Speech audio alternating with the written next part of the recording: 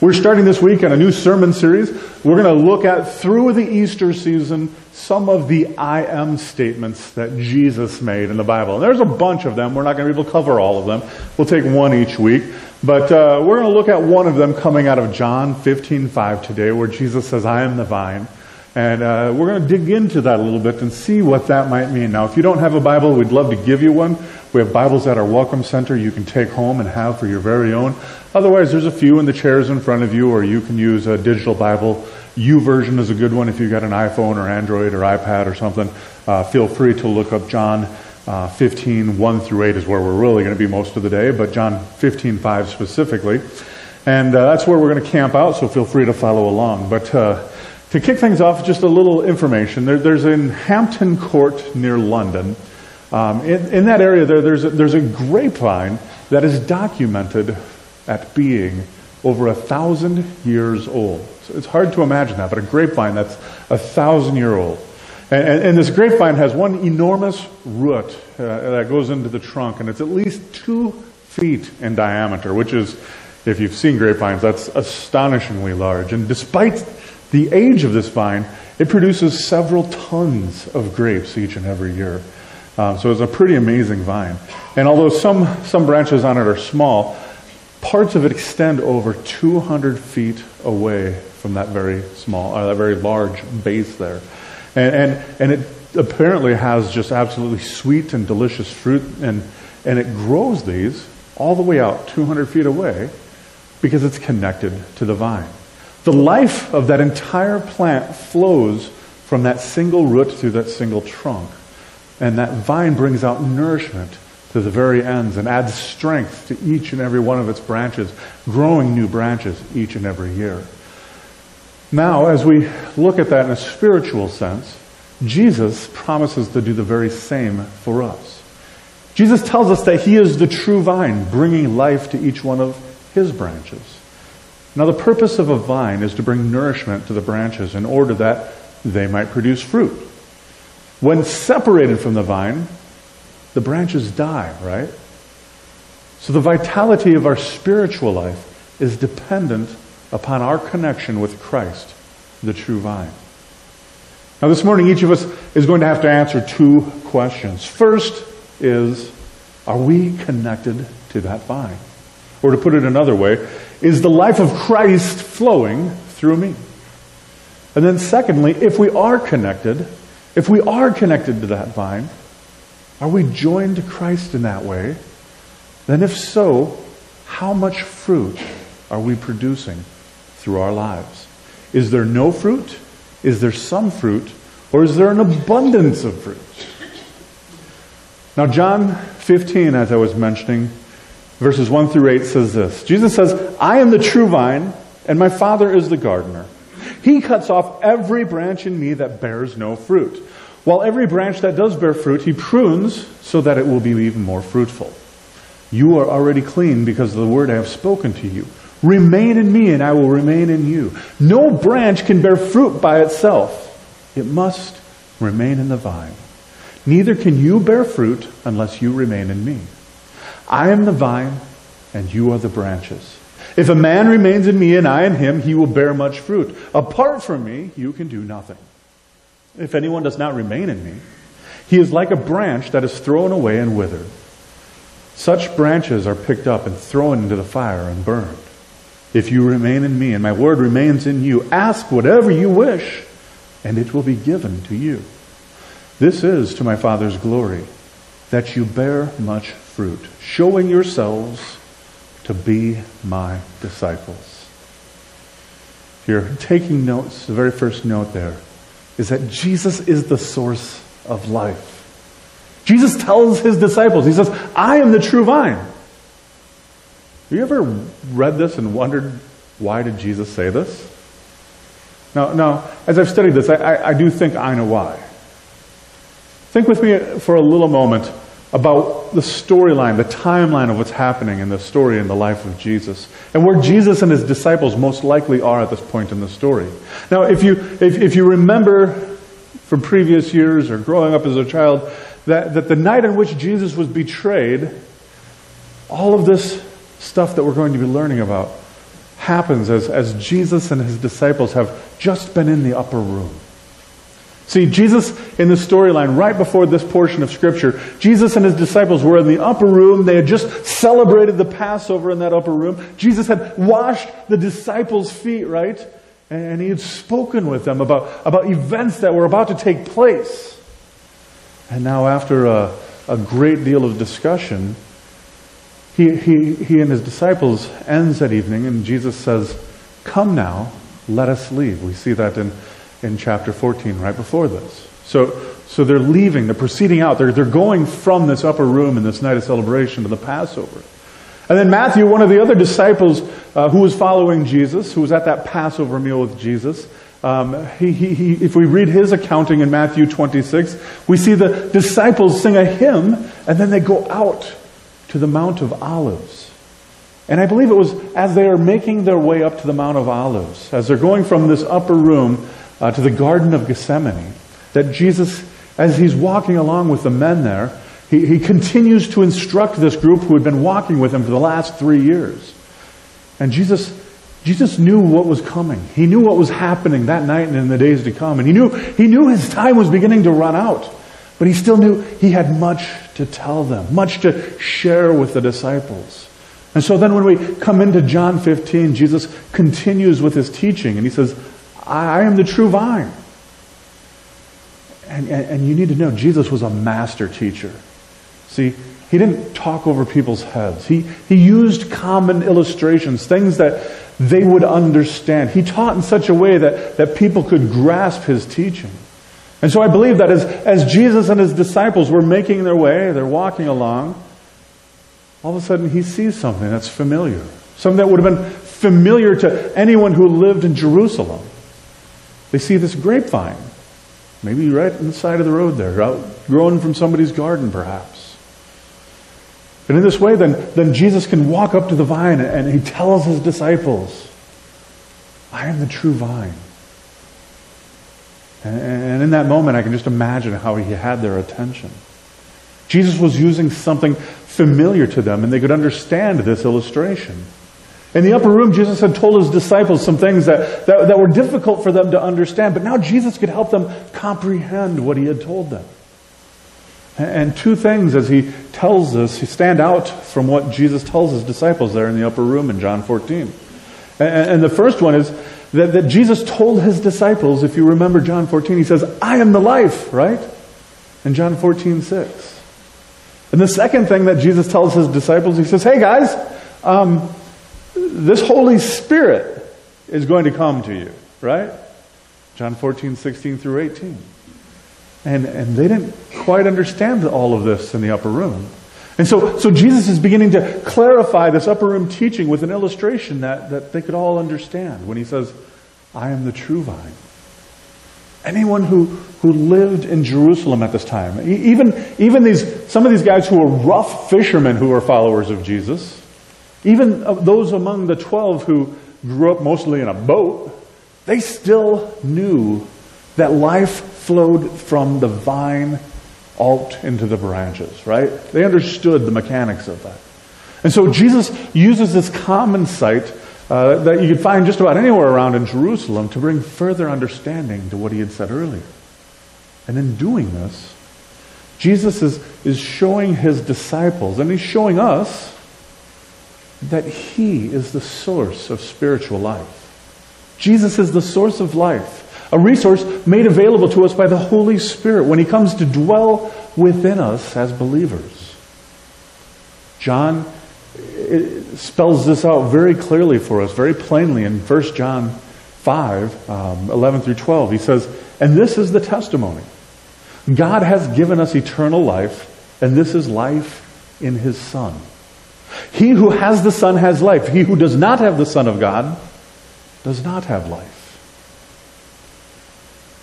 Now, before we move any further, I want to stop and deal with that first question. Uh, the question I asked are, are we connected to the vine? If, if you're not connected to the vine, if you're not connected to Jesus through the forgiveness of your sin, if you've not let Jesus rescue you from drowning in, in the turbulent sea of your sin, the Bible makes it clear you're as good as dead. That the, the life that you are living is, is empty and it's, it's meaningless because you aren't connected to the source of life. We, we read this in, in Romans 6.23, for the wages of sin is death, but the gift of God is eternal life in Christ Jesus our Lord. So the choice is yours. If you're not connected to the vine, you can, you can stay the way you are, or you can choose to be grafted into the, the living, life giving vine. All other vines are lifeless. The branches have no real fruit because there's no life in the vine. But when you are connected to Jesus, when you are grafted into his life, into his family, suddenly everything will be made new and come alive for you. Now, the second point is the life source produces fruit. See, Jesus is the life source. And, and His life within us as believers, if we have been grafted into His family, His life for us as believers is one of purpose. And it's for us to produce fruit. And the question we need to think about for ourselves if we are grafted to that vine of Jesus is how much fruit is being produced. How much am I producing? Is there no fruit? some fruit, or is there an abundance of fruit? Now remember, Jesus is talking with his disciples, right? And Jesus is the true vine, and his disciples and those who believe in him are the branches. So when we think about the quantity of fruit in an individual's life, we're talking about believers at this point. Those who are connected to the vine. And, and as we said, Anyone who is not connected to Jesus, uh, you can't bear fruit. If you're not connected to the vine, there's, there's nothing to grow. You don't have any roots. There's nothing to give you the nourishment that you need. But if you are connected, the question is how much fruit is being produced in your life? Now, this fruit doesn't have to do with your salvation. If you've, if you've been saved, you've already been incorporated into that family, you've been connected to the vine, that is an ongoing thing. But still, we have to deal with this idea are we producing fruit? And the quantity of fruit that we, we produce deals with the issue of what you are doing with the life source that God has planted within you. Now, before we deal with that question, let's quickly think about the fruit itself. Some of you may be wondering, okay, well, I, am part of that vine, right? I'm connected, but what is, what, what, Pastor, what specifically is the fruit that we should be producing, right? Now, some have taught that the, the fruit of Jesus is talking about obedience. And that fits within the, the context of, of those who love Christ. If you love Christ, you'll, you'll obey his commands, right? Others have taught the fruit is, is to reproduce other believers, right? To make disciples. One of the signs of life is that it reproduces itself. That's a basic fundamental science thing. Fruit carries within it the seed that has the ability to reproduce. Now, others have taught that, that the fruit is those things that are the fruit of the Spirit that we've heard of many times if you've grown up in the church, right? Love, joy, peace, patience, kindness, goodness, faithfulness, gentleness, self control, right? Those are the things that, that, are, that are fruitful evidence that you are connected to the vine. So, so which, which one, which is it, right? Well, let's, let's let Jesus maybe answer that question. Matthew 7, 16 through 18 says this By their fruit you will recognize them. Do people pick grapes from thorn bushes or figs from thistles? Likewise, Every good tree bears good fruit, but a bad tree bears bad fruit. A good tree cannot bear bad fruit, and a bad tree cannot bear good fruit. So Jesus is saying that we will recognize the fruit, that, so to speak, we're fruit inspectors. Did you know that? You're a fruit inspector. You're all a little bit fruity. You can quote me on that. But let's check out the fruit, right? Is obedience to Christ's word something that, that the life of Christ would reproduce into the believer, right? Well, yeah, certainly. So, so yes, the answer is yes.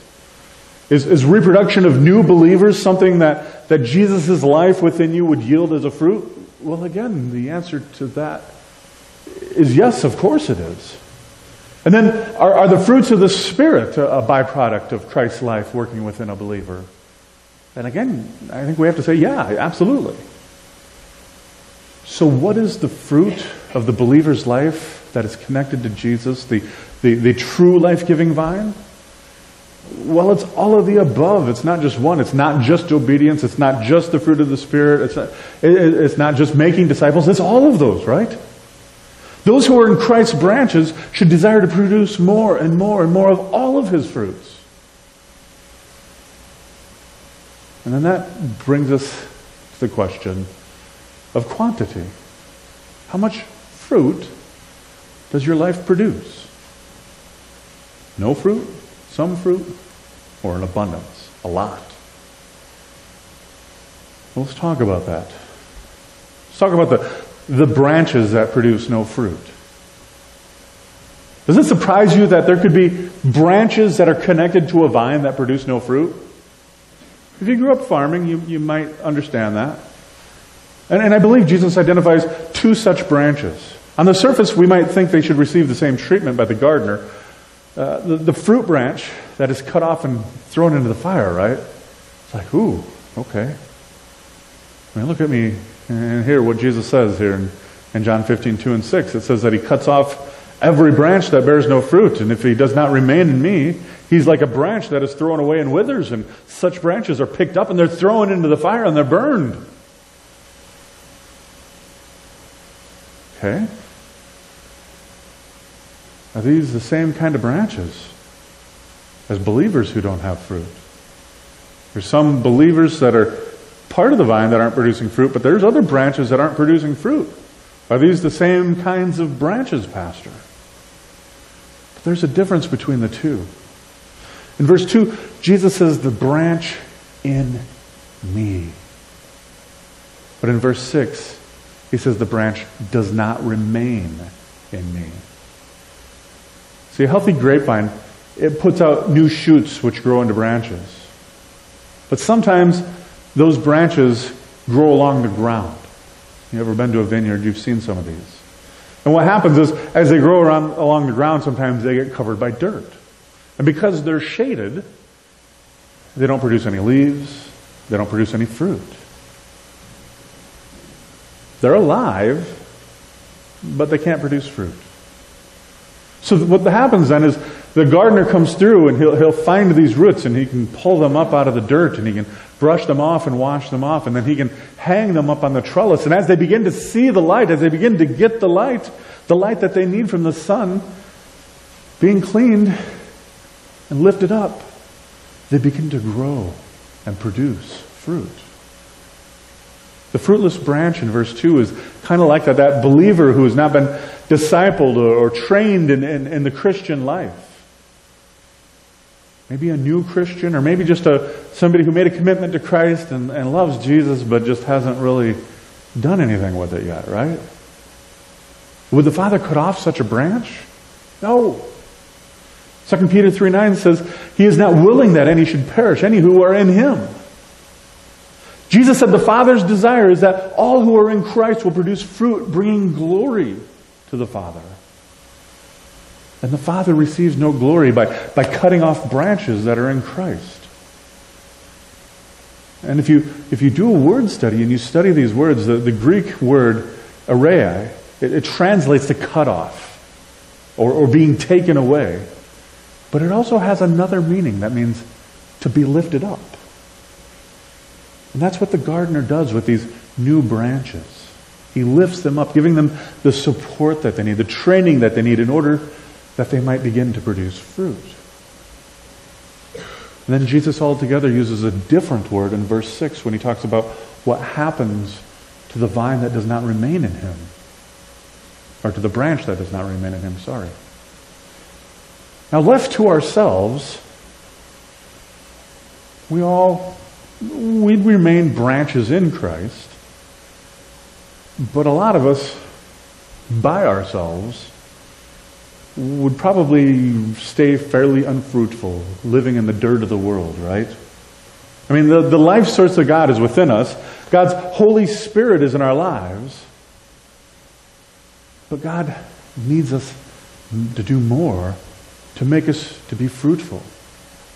And to make us to be fruitful, what God does then is He lifts us up, He disciples us, He trains us in order that we might grow and produce fruit. And, and how does God do this? well, one of the ways, and the primary way in which God does this, that He lifts us up, is He places us in relationships with other believers. See, this is a spiritual truth that I know. We need other believers to help us grow effectively and to be fruitful. None of us can make it alone. Lone Ranger Christians, they really don't do well. I believe the single most important thing God does for us is He puts us in the context of other believers, including being part of a local church, a place where we can have a, sharing and loving relationship with others, where we can come together and serve and grow and learn together with one another. Being with other Christians is vital to your spiritual health. And if we don't let God lift us up, then we're in danger of becoming fruitless, that, that, that fruitless branch that chooses not to remain in Christ. If we don't enter into relationships with other believers, if we don't apply His Word to our lives, if we don't let the Holy Spirit renew our minds, then we begin to cut off the flow of Christ's source of life. That source of life He places within us. Hebrews 3:12. It says, "See to it, brothers, that none of you has a sinful unbelieving heart that turns away from the living God." Don't miss that warning. These are branches that, that, that once thought they were connected to the vine of Christ, but they do not remain in Him. They're cutting themselves off from the source of life flowing from God. They, they, they, live a life believing that they can find life maybe from some other vine. And the deceitfulness of sin ensnares them. If we turn away from Christ and do not remain in Him, then we have become, as it says, a, a withered, fruitless branch that will ultimately be thrown into the fire. That is certainly not what we want. Now, the second type of branch that talks about is that branch that produces some fruit, right? Not all branches are as fruitful as others. Some branches have bushels full of fruit, right? While another branch might not have very much fruit at all. But don't confuse quantity and quality. If you are a believer, you are connected to the vine. The life of Christ, the vine, is what produces the fruit. And therefore, any fruit that is produced in your life out of obedience or, or discipling others and the fruits of the Spirit, whatever fruit may come, is good fruit. Christ's life in you will not produce bad fruit. Christ is the, the true vine and only produces quality, the very best quality of fruit. However, each of us as branches we can kind of restrict the quantity of fruit that's produced in our lives, right? We can squeeze that garden hose down to a trickle. Look at it again, what, what Jesus said in John 2, or John 15, 2 through 4. He says, Every branch that does bear fruit, he prunes so that it will be even more fruitful. You are already clean because of the word I have spoken to you, Jesus says. Remain in me, and I will remain in you. No branch can bear fruit by itself. It must remain in the vine. Neither can you bear fruit unless you remain in me. So, what is it that restricts the production of the fruit? In one simple word, it's self. It's us. We love Christ. His Spirit is within us.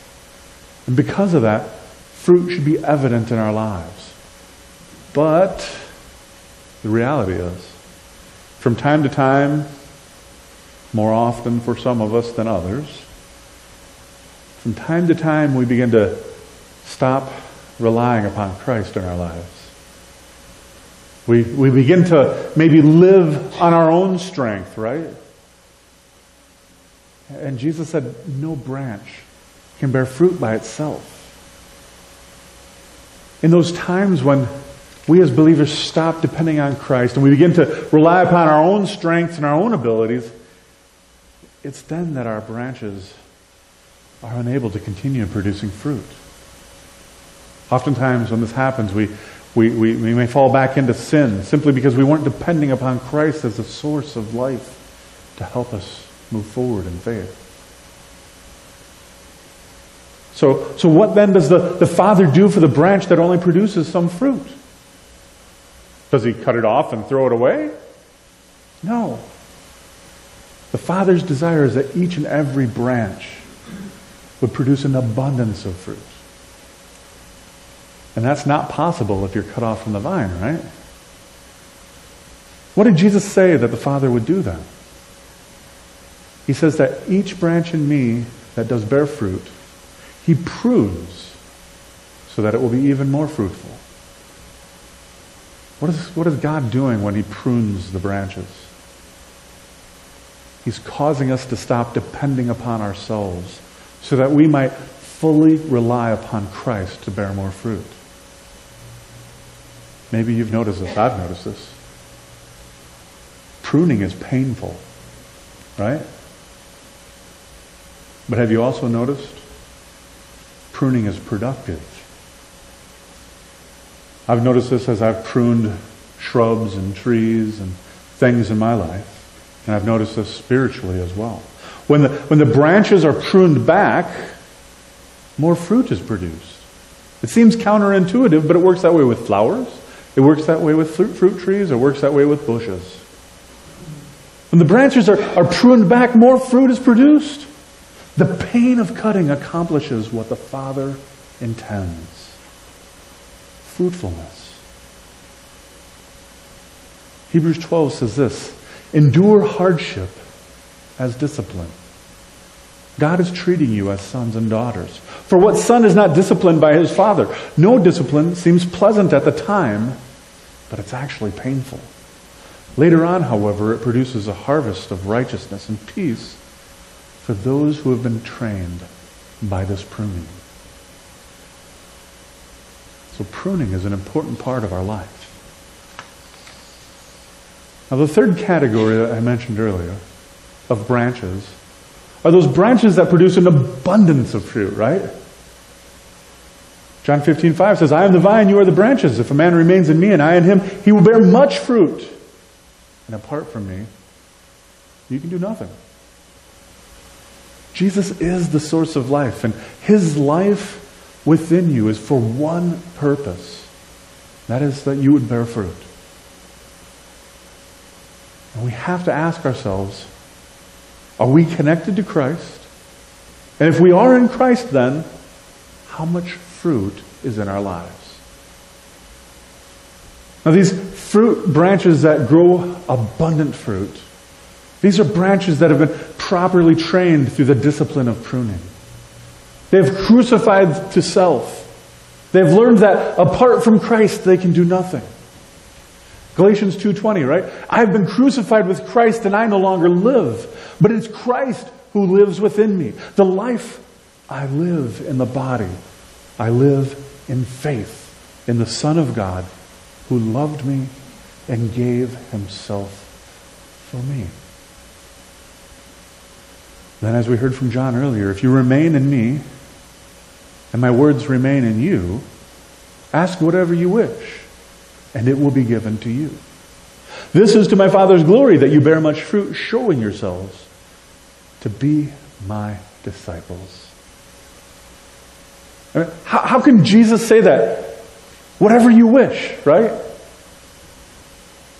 How can Jesus say that? But you see, those branches that remain in Him and remain in His Word, they don't ask for things selfishly. They've died to self. They've died to the passions of this world and they live for Christ. Therefore, whatever they ask for is what Jesus would ask for. when we begin to mature as believers, when we begin to grow in our faith, it is then that, that we can bear an abundance of fruit. And as we grow in faith and grow in our fruit, God the Father is glorified in that as we show ourselves to be disciples of Christ. Jesus, the true vine, is always producing fruit in his branches. But the question is, how much fruit are you being willing and, and allowing and letting to be produced in your life? Is there no fruit, some fruit, or an abundance of fruit? And what are you going to do if you fall into one of those first two categories? Let me wrap up with these thoughts. Maybe if you're, if you're honest, you, you find yourself wondering, am I a branch that produces no fruit? Maybe you've just kind of been that zombie Christian, right? You've just been going through the motions for so long that all you know now is just to go through the motions, right? Spiritually, there's just no heartbeat. You no longer have a passion for the things of God. And if that's you, let me both warn as well as encourage you. Scripture is clear about what happens to those who remain fruitless. It says they're cut off. And none of us want that to happen. I certainly don't want that to happen. But the good news is it doesn't have to be that way. Let's take some steps forward. Let's, let's begin to serve others, right? Let's take some steps forward. Maybe join a Bible study. If you need some personal uh, discipling, talk to myself, talk to Pastor Kevin, talk to one of the mature Christians of this church. I would love to come alongside of you and help you grow. The very last thing we want is for dead branches just to be sitting here every Sunday. But it takes active participation by you. This won't happen without your involvement. Nobody can cause a branch to grow that doesn't want to grow. The branch has to do it itself, as well as with Jesus. If you find yourself feeling like you're one of those branches with no fruit, maybe today is the day to recommit yourself to faith. Maybe today is the day that you need to get honest with yourself, get honest with God on, on what has been going on, on what has been holding you back. Maybe today is the day to commit yourself to take some positive steps to remedy that. There are all sorts of great opportunities and tools that we have. But you have to take that first step and get yourself started back on that path of faith. For the rest of us, my suspicion is each and every one of us have some things that need to be pruned. Most of us have things that we've been holding back spiritually. It could be that one friend, right? It could be that one habit. It could be that, that fear that we have of what others think of us. It could be our things that we own that own us. And even the good things in our lives can be pruned back by God if we let them get out of balance. If we let them get out of whack in our relationship with God the Father in heaven. Now, here's the deal. If we see early on something that's going amiss, growing the wrong direction, right? If, if we catch it early, that pruning is far less painful. But if we let parts of our lives grow in the wrong direction for too long, they start to get big. You ever pruned a little branch off a tree? Makes maybe a tiny little speck on it. When you got to cut a big old branch off that tree, it scars it for life, doesn't it? And it takes much longer for that tree to heal from a big cutting. Those large cuttings can leave scars in our lives for the rest of our lives. And if there's something in your life right now that you know needs to be pruned, today is the day to do business with God. Don't delay. Don't let it keep growing. Don't let that pain become worse. Go after it so that you can get on with your spiritual life. Cut it out of your life before God has to. and then you really have to feel the pain. And for all of you who've really got this all figured out, right? Your life is a bumper crop. You're hitting on all spiritual cylinders, right? Your fruit is abundant. It's evident. It's everywhere in your life. Awesome. Keep on keeping on. Keep on doing it. Keep leading the way for the rest of us because we need somebody who's showing us the way. Don't let up. Keep at it until Jesus calls you home. And praise the Lord while you're in that season. So, where are you today? Let's pray. Father God, we know that we're all over the map when it comes to these things, Lord. First, God, I would pray for those who, who were just sitting there, thinking they're connected to the vine, but there's no fruit, and it doesn't look like there will be any fruit in the future. God, I pray that in this moment you would convict those hearts, that you would make clear that that's not a good place to be, and that if we never produce fruit, then we'll be cut from the vine. Lord, I pray that that would not be the case for anyone, that they would mistake their relationship with you. And God, for those who are connected to the vine, but there's just not been any fruit, I pray in this moment, God, that that you would challenge them to take their faith seriously, to take that next step of faith, whatever that step might be, to do the things that are necessary to begin to grow. Maybe it's prayer, maybe it's Bible study, maybe it's just reading your word, finding themselves in, in fellowship with other believers. Maybe it's serving others and loving others. But God, begin to push them to begin to live out their faith, to get in the game, to begin to bear and yield fruit. And Lord God, for so many of us, the truth is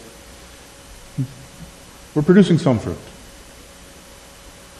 but probably not optimal fruit. God, you've called us to live a life and a life abundant, not just to wallow in mediocrity, not to settle but abundant, joy filled, passion filled following of Christ. And God, that's many of us in this day. And Lord, I just pray that those things that have been keeping us, that we've been restricting that flow of the Spirit, that God, we would set those things free, that we would prune them out of our lives before you would have to prune them. God, pruning is painful, but it produces great fruit. And so, God, I, I pray that we would take this to heart seriously, the many of us who fall into that. And then, Father God, we rejoice for those who are producing abundant fruit. God, that is the goal. May we all produce abundant fruit. May we strive towards that. And as we produce abundant fruit, as we live in obedience, as we make disciples, as we have joy, peace, patience, and all the other things, God, May the world see that. May we bring you all glory, honor, and praise and make much of Jesus. Lord God, we thank you that you love us and that you continue to not abandon us, but chase after us. You won't leave us alone. So today, God, we come before you humbly, repenting of what's holding us back praying, God, that you would free us and that today, as we leave from here, we would go forth with the power of the Holy Spirit to change the world. That is the power you have put within us. May we take that seriously and bear fruit and bear fruit abundantly. It is in Jesus' name we pray. Amen. If you need some prayer today, we have a prayer team who would love to pray with you. They'll be up here at the front. Come on up and pray with them before you head out. Otherwise, go forth and serve your King. God bless. Amen.